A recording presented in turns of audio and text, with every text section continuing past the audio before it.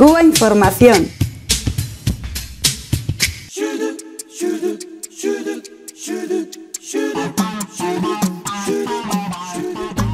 Durante muchos años y también en, la actualidad, los medios de comunicación, o en muchos grandes medios de comunicación, se nos dice que el bloqueo de Estados Unidos a Cuba es una especie de, excusa que pone el gobierno cubano para ocultar sus errores. Por eso a mí me ha parecido interesante y realmente transparente y bueno, eh, una, brillante exposición, la que hacía Bruno Rodríguez Parrilla, que es el canciller, el ministro de Relaciones Exteriores de Cuba, cuando presentaba hace unos días el informe sobre los, los daños económicos en el último año de este bloqueo a Cuba. Y empezaba su intervención diciendo que es cierto, nadie ignora, ni debe, ni pretende esconder los errores que son de nuestra responsabilidad cubana, pero que indudablemente el bloqueo a Cuba es la pieza fundamental, el elemento fundamental que torpedea, que obstaculiza el desarrollo económico y social eh, de la isla. Es decir, que son dos cosas distintas, mm, pero que fundamentalmente la economía cubana y el, y el proceso de desarrollo está vinculado a ese gran dogal que tiene sobre, sobre su cuello, digamos, eh, que es el bloqueo de Estados Unidos. Y recordaba 4.680 millones de dólares solo en pérdidas en un año, en el último año. 14.000 millones de dólares en multas solamente en la administración Obama. Y unos ejemplos muy recientes, entre los cuales, bueno, voy a mencionar uno, que es anecdótico, puede parecer pues casi un chiste, ¿no? El Departamento del Tesoro multaba con 100.000 dólares a Albert Foss, que curiosamente fue uno de los facilitadores de los encuentros de las delegaciones de Cuba a Estados Unidos que luego han llegado a acuerdos, ¿no? Acuerdos como por ejemplo en materias como la aviación civil o la protección del medio ambiente, del, medio marino. ¿no? Curiosamente, los Estados Unidos le multa por no haber solicitado licencia de viaje a una persona que ha facilitado todo un proceso que supuestamente la Casa Blanca está apoyando. Bueno, pues vamos a conversar una vez más, desgraciadamente, sobre la necesidad que hay dentro de la solidaridad internacional para recordar que el bloqueo sigue ahí. Es la administración Obama la que más eh, multa ha puesto a bancos y a, eh, subsidiarias de Estados, Unidos, en terceros países y a bancos que hacen transacciones eh, con Cuba. Es decir, que hay una hipocresía, una falsedad. Yo creo que el, artículo del, doctor Esteban Morales está muy preciso, muy, muy certero en cuanto a calificar lo que realmente representa esta administración de Barack Obama que bueno, es, un, es, la, digamos, la cara dulce, buena, escogida por, eh, por los estamentos del sistema imperialista para engatusar a los pueblos, pudiéramos decir, y contrastando eh, lógicamente con la administración anterior. Pero eh, en el caso del, del bloqueo, hay que decir, hay documentos desclasificados que muestran con crudeza lo que es la esencia del bloqueo, por qué se le aplica a Cuba y por qué es en estos momentos la política criminal más eh, larga de la historia de la humanidad. Ningún otro país del mundo. Estamos hablando de un país, una pequeña nación del Caribe, eh, con poco más de 11 millones de habitantes, bloqueada por una gran potencia eh, como Estados Unidos, una potencia económica, una potencia militar y que ha sufrido todo tipo de daño. Y el pueblo cubano ha enfrentado, ha sufrido y ha enfrentado esa política criminal de Estados Unidos. Sin embargo, eh, a pesar de la abrumadora, aplastante mayoría de la comunidad internacional representada en la Asamblea General, que pide una y otra vez cada año el desmantelamiento de esta política, esta administración de Barack Obama la mantiene. Hay una estrategia en esto. Eh, nosotros podemos ver claramente que mm, de cara a la opinión pública internacional parece ser que el presidente de los Estados Unidos actual es el que ha tomado eh, medidas eh, más importantes para el acercamiento, para la normalización de las relaciones con Estados Unidos. Normalización que está en punto muerto, hasta tanto no se desmantele esta política de bloqueo, hasta tanto no se devuelva el territorio ilegalmente ocupado a la base naval de Guantánamo, eh, entre otras cosas, porque hay también las, las partidas millonarias dedicada a alimentar a esa parasitaria contrarrevolución, los llamados eh, opositores o disidentes que llama, eh, que sirven de triste peón a esa política de Estados Unidos. Es decir, que es una exigencia y cada vez hay que reforzar más esto de la comunidad internacional de la solidaridad con Cuba, que es también la solidaridad con América Latina y el Caribe. Es que eh, ese, hay que insistir en ello por cuanto esta administración parece ser que va a pasar de esa manera haciendo creer que ha hecho grandes cosas en favor de acercamiento a Cuba y darle el testigo, pasarle el testigo al próximo presidente o la próxima presidente que coja eh, que arriba la Casa Blanca y dejar todo así. ¿Para qué? Esperando, y eso lo hemos hablado en otros programas, que el reloj biológico, por ley de vida, no permita o no, o no estén los líderes históricos de la revolución cubana.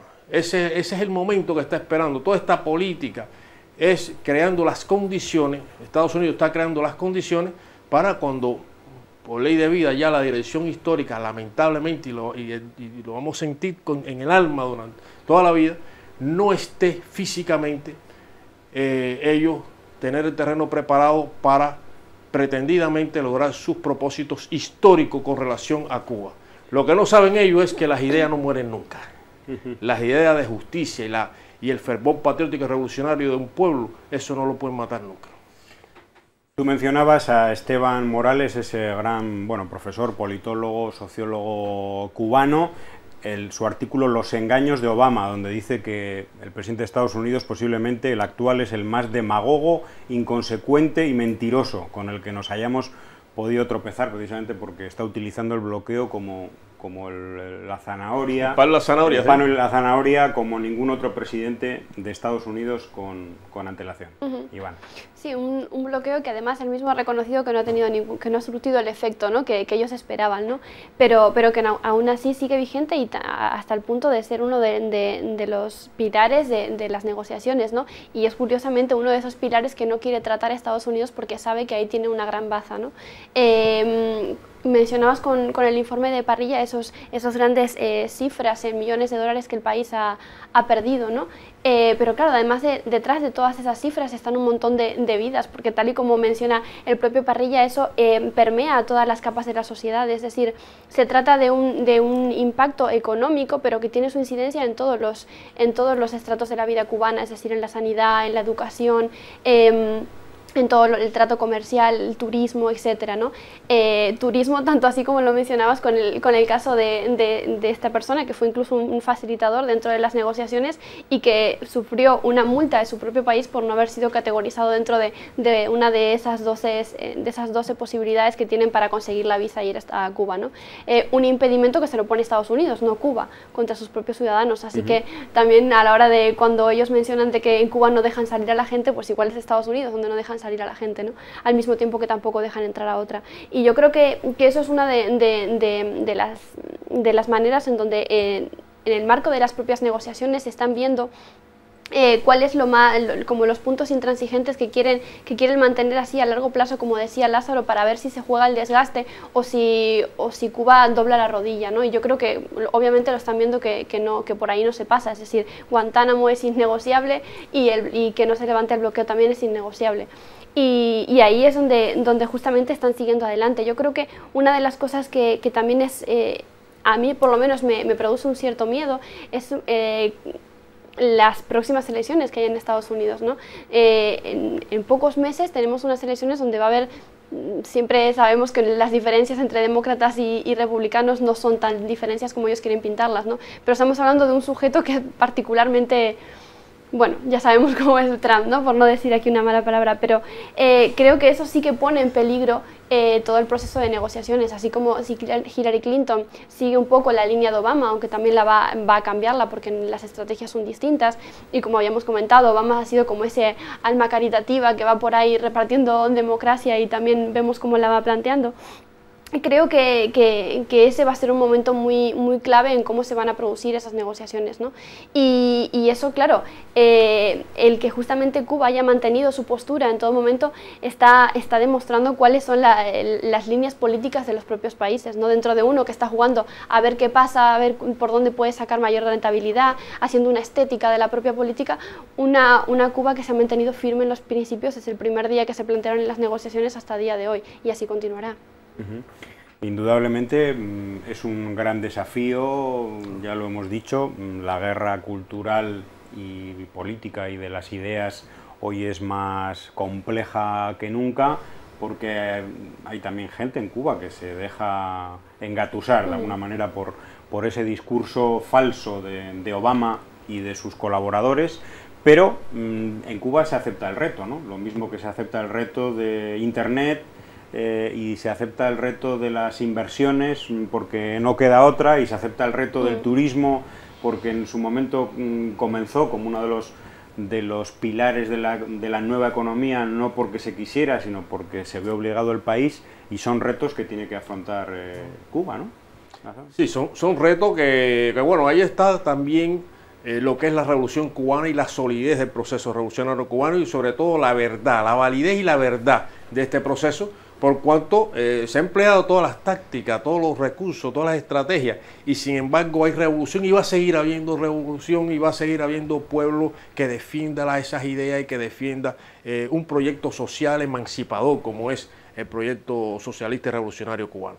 Pero eh, no cabe duda que está también esa, esa, este, esta, el turismo, este turismo bueno, turismo no, es, no se puede decir turismo en estos momentos porque también hay que decir, el, turismo norteamericano está muy limitado. Son 12 categorías únicamente en las cuales los ciudadanos de Estados Unidos pueden viajar a Cuba. No pueden hacer turismo como tal, pero bien, está incluso planteado en la antigua ley Torricelli de 1992 este doble carril, ¿no? Eh, pensando con la idea, es que es una idea mesiánica, enquilosada de, de los estrategas eh, de Estados Unidos, en que con que los ciudadanos de Estados Unidos, sus turistas, sus eh, eh, todas las personas que vayan a Cuba van a transmitir, van a, impregnar al pueblo cubano de democracia.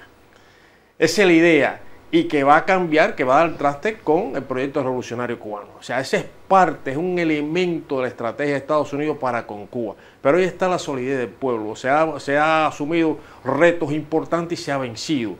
Eh, es decir, que este es un reto más eh, y el país está preparado para eso. Y lo está demostrando, lo está demostrando cada día y hay que ver la juventud, lo que el, cómo eh, defiende la revolución y, y, sobre todo las ideas que tiene para seguir defendiéndola y seguir construyendo.